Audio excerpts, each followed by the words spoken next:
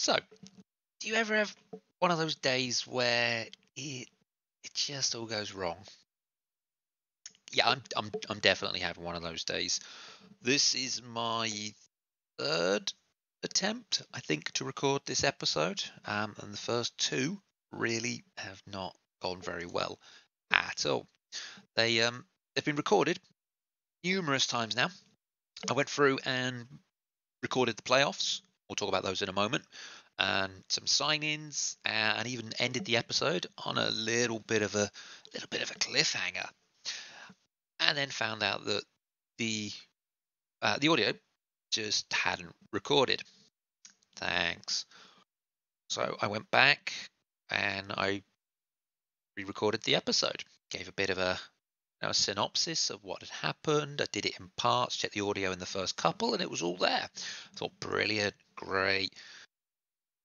And then tried to put it into the editor, and the audio just wasn't there anymore. So now we're doing it for the third time. And I've got the audio recorded in two different places this time. So I'm really hoping if you if you hear me talking right now, then it's it's worked. Hurrah! Um, and we have a video. So let's talk about what happened since the last episode because we had the playoffs. And we went into the playoffs in fairly okay form. Wasn't brilliant, but it wasn't bad. Um, and we did well, as you can see. Um, yeah.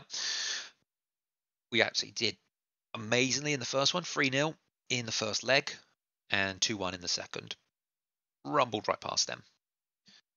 Fife trashed Guildford 11 3 overall. Sheffield 8 4. Nottingham 7 4. So, yeah, not too bad. These two teams were coming out as the big ones. But the second halves of these were only one games, so knockouts. And then, even though they won 11 3, we still managed to trounce them 4 1 and moved on to the finals. And Sheffield just eked out a 2 1 victory. And then we come to the final. And yeah, that final hurt. We went in into the lead. In fact, can we open up our game by game so we can see it? Probably stare me right in the face, isn't it? Probably stare me right in the face. Go into schedule. Quite what I'm looking for, but thank you. There yeah, so period one, they get a go, we get a go. Then period two, they get a go, they get a go, they get a go, they get a go, then we get one. And then period three, just nothing happens. Just oh just it was painful. It was it was just really, really painful to watch that. Um, well that does mean is go to stones. Never remember where it sits on this one. It's not stats, not events. History? Yep, history. What it does mean though is even though we won the league because they beat us in that one match at the end, they are technically crowned champions of the EIHL and not us and that would be the first time we would have won it about 12 years. So that that stung. That really did sting. What we then tried to do afterwards, if we go back to Belfast, is we were looking to try and re-sign some players. Go to our contract screen, and you can see here, Cullen, it was the first one that we re-signed, 26-year-old four-star, right defence, um, and then Gilbert. Now, I know I've talked about Gilbert potentially moving on, but at the end of the season, his stats aren't actually that bad. Go to his career stats 54 games, 22 goals, 24 assists. He's 46 for 54. That's pretty good. So we've re signed him. Um, he took a two year, a little bit more pay, and a no movement clause, but we got him.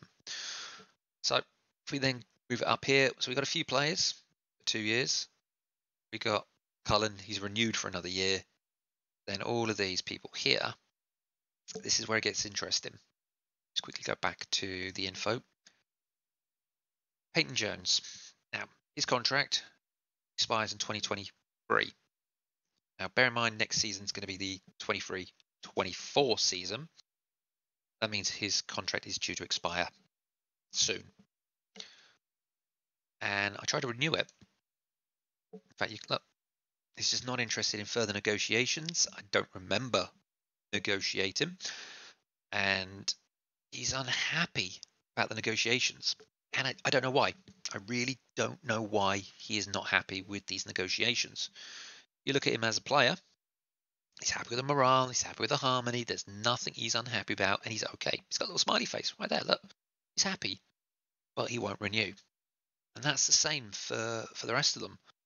Um, I was working my way down the list, which is how these two got their contracts, but Con- um, Conway didn't get one, Macaulay didn't get one. I think I tried Angeli, I can't remember. I can't even see a contract on there. Oh, weird. CF main again. Foreign player. Okay. But yeah, it's just struggled. Could not could not get them on. Um, if we look at the upcoming free agents, we could be losing a significant amount of our talent. And there's no one unsigned. So it could well be we just have to start raiding the free agency. And then we get into the same issue that we had all season. Trying to I mean there's no decent English people in there. And I did find right at the very end of the season, go into I think it's league notes and notes. It even does say uh, yeah, UK has yet to produce a significant F- NHL caliber player apart from British born Canadians. Um, well, there's been some promising prospects. So even this bit says that basically our system sucks. So yeah, um, we may struggle next year. We may indeed struggle next year. And then after that massive sting of technically losing and the issues that we then have with potentially re-signing the players, we get a job offer come through. And it's this bit that's kind of got me a little bit stuck. And this is potentially where I may need some advice. And this is where you can give me that advice in the comments section. Hint, hint, hint. Um, yeah, NCAA. This is the American Collegiate Association National I can't remember what it stands for. I mean, it probably tells me in league notes in here. Probably academic association, I'm guessing. National Collegiate Academic Association, maybe. Don't know. I'm not American. Please don't hate up on me. I just don't know. But yeah, they've offered me a job. Payment wise, we're on two grand currently. So we'd be basically part time in and supplementing our income you know, our main income by doing this job. They're only offering 5,818 for a season. And if I realistically was to move to America, I'd probably be looking at two seasons for a little bit more stability. But 5,600 pounds into US dollars, you're looking around about 7,000 US dollars. And that's not a lot to live on for the year, I'm guessing. Now, I am trying to base this upon realism as much as I possibly can. So I really don't know whether or not I can take this job. You know, is that just for managing the team? And then would there be another job that goes alongside it doing you know, other work on campus? Or is that it? Is that just the pay? Because if it is, if it is, then then yeah, then we got to reject it. Just cannot possibly move to another country on that sort of money. Uh, the third option, because the the first option is we we do that rebuild. The third option is we kind of start phoning it in a little bit at Belfast. We try and rebuild as best we possibly can, but you know you get to that point in a job where you you know you've already got one foot out the door. You you kind of you know, you don't really care, and you are literally just phoning it in. You're doing it to the you know the minimum that is required.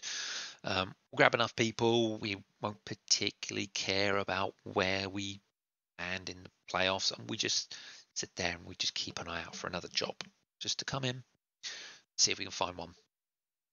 Because that's that's realistic. I've done that. I've done that on jobs before. You know, just you've been there a while, you kind of hate the job. Just you know, you, you're looking around. So that's kind of where we are at the moment. And yeah, that's kind of where I, I, I kind of want your advice on. I mean, contract wise, we're good. We are good for another year. Uh, we go into here. So yeah, we are good for another year, but we're not on much. So yeah, I'm totally up for jumping ship. Um, I mean, stat wise, we have made a pretty good. Uh, even says that. Even says no to championship. That's such a such a stinger.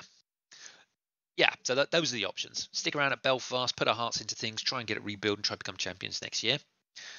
Or we take the Maine job when we move over to America and we look at the collegiate system. Um, I mean, they are, in team wise, they are not brilliant. They are really, really, really, really bad. And I mean, that would be a proper, proper full on rebuild.